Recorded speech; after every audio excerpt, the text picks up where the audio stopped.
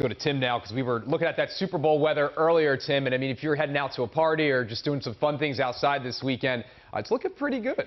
Yeah, it really is. You know, temperature-wise, we were talking about, you know, maybe even cookout rules for your food because if you're going to be outside, and you probably could be, um, temperature is going to be very comfortable. We're going to be in the 50s and 60s. And keep in mind, our normal high for this time of year is 45. We got to 62 today, and that was the official temperature of BWI Thurgood Marshall. Again, the normal high is 45. We're sitting at 45 now.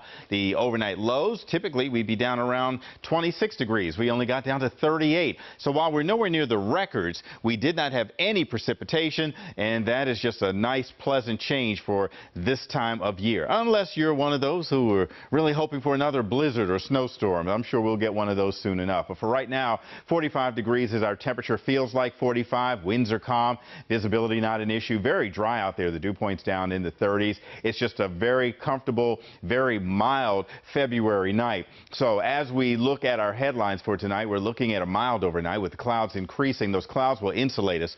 When we get clouds over us with temperatures as high as they have been today, those clouds kind of lock those temperatures in place. So what we're going to get is really kind of a blanket over us for tonight. And then the weekend clouds stay with us, mild temperatures, and then a few showers. First chance of showers will be tomorrow morning before dawn in just a few hours or so, around the 3 o'clock hour tomorrow morning, and then turns rainy Monday into Tuesday. But between now and then, really the better chance of showers will be Sunday and it stays primarily south of the metro area. Temperatures across the state, look at this. We still have 50s around Lexington Park down in southern Maryland, 55 degrees here at the 11 o'clock hour on a February Friday. We have 51 degrees in Hagerstown, 50 in La Plata and in Clinton. We have 51 in Scotland, Maryland. That would be warm even for Scotland overseas, but we're looking at temperatures still in the warm range with the warm flow of air coming in around high pressure that's moving off the coast. Now that high is going to continue to move away. But even as you see now, our scan picking up some showers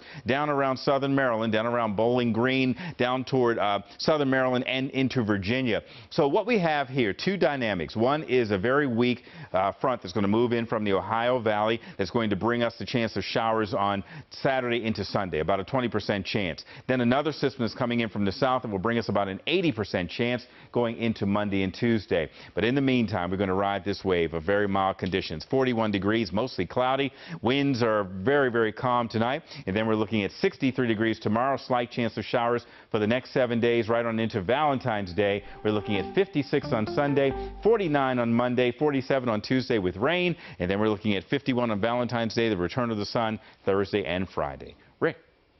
Looking pretty good. Tim, thank you for more First Alert weather updated news. Check in with Miana Massey and Molly Roby tomorrow morning on WJZ starting at 6 a.m.